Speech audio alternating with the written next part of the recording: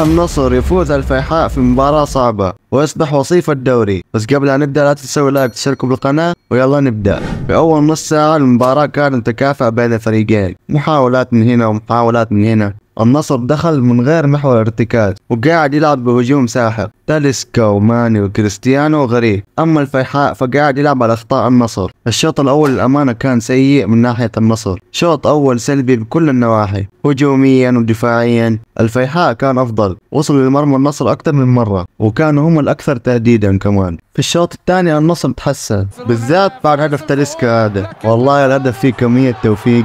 المهم بعد هدف تاليسكا النصر صار يمسك الكرة أكثر هجماتهم صارت مرتبة كمان. ما في عشوائية زي الشوط الأول. والله بس دفاع النصر اليوم كارثي.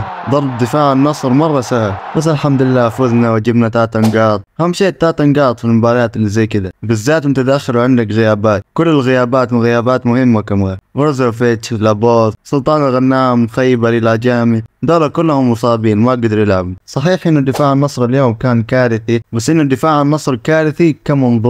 أما دفاع النصر كأفراد مرة كويسين ترى. كل الأربع مدافعين قدموا مستوى مرة طيب. عبد الله مادو عبد الإله العمري تيليس ونواف بوشل كلهم قدموا مستوى ممتاز. عبد الإله العمري مستواه متصاعد. نواف بوشل دفاعيا ممتاز. أليكس تيليس قدم مباراة كبيرة أمس. حتى عبد الله مادو مع إنه من زمان ما لعب مباراة رسمية. مع ذلك قدم مستوى كبير. أوتافيو هو نجم المباراة أمس بالنسبة لي. يا أخي ما شاء الله تبارك الله. لاعب مبدع وعنده ميزة الاحتفاظ بالكرة. لاعب رايق. هو اللي كان ماسك خط الوسط أمس. دفاعيا وهجوميا. ممتاز وقدم مستوى مرة كبير. أما كريستيانو أمس مرة ما كان في يومه. ضيع كم كرة سهلة أمس صراحة. ما هو كريستيانو اللي إحنا نعرفه بس مع ذلك هو اللي صنع هدف تاليسكا الأول. وفوفانا والله ما أدري عنه يشبه كذا تحسه مربوش مو عارف إيش يسوي. كذا يتحرك كثير في الملعب يجيب لك التوتر والله. عموما مبروك يا نصراوية. ثلاث نقاط مهمة قدامنا مباراة مهمة يوم الثلاث قدام الاتفاق كاس الملك ان شاء الله إنه تاليسكا وبروزوفيتش ولابورت يقدروا يلعبوا.